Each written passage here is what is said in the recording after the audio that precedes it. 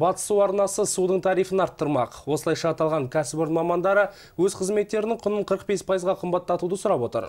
Айтуларына қарағанда жиналған қаражат Орал су арнасы коммуналдық кәсіпорын модернизациялауға жұмсалмақ.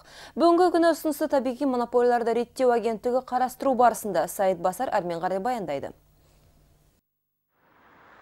Батыс су арнасы 2014 жылдан 2016 жылға су бағасына тұрақты тарифті орнатуды ұсынып отыр. Олардың айтуынша қазіргі таңда су құбырларының 60 пайызы ескірген. Сондықтан аталмыш мекеме 3 жылда қаламыздағы барлық су жүргізу жүйесін ауыстырмақшы. Баршамызға белгілі шаһарымызда орналасқан көптеген бес қабатты үйлердің су желілеріндегі қысымның аздығынан ол үйлерде су бәсең ағатын көрінеді. Данная инвестиционная программа предусмотрена Табиғи монополияларды реттеу департаменті су бағасын 70 теңге деп белгілеген болатын. Ағымдағы жылдың шілде айында Батыс су арнасы 2014 жылдан 2016 жылға қарай су тарифіне тұрақты бағаны қоюда 35 теңгеге өсіруді ұсынып отырмыз. Бізде аталмыш жылдарға мекемемізді индустрияландыру жоспарымыз бар. Бұл жоспарда барлық техникаларымызды, сонымен қатар су құбырларын ауыстыру көзделген.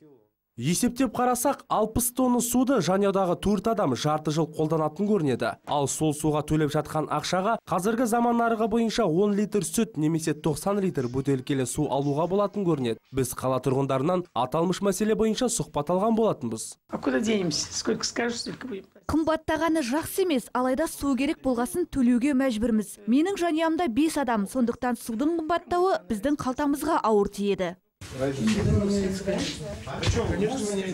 әрине әр нәрсе қымбаттаса сезіледі. Одан да жалақыны қымбаттатса жақсы болар еді. Батыс су арнасының мамандарының айтуынша көкшетау қаласында су бағасы 104 бүтін жүзден 93 болса ақтөбе қаласында 72 бүтін оннан сегіз теңге көрінеді. Салыстырмалы түрде біздің қаламыздағы баға ең төмен. Әйтсе де қымбатшылыққа бет ала бермей бір бағаға тұрақтанса жақсы болар еді. Саид басар айболат жақпар александр грабарев тдк 42 телеарнасы.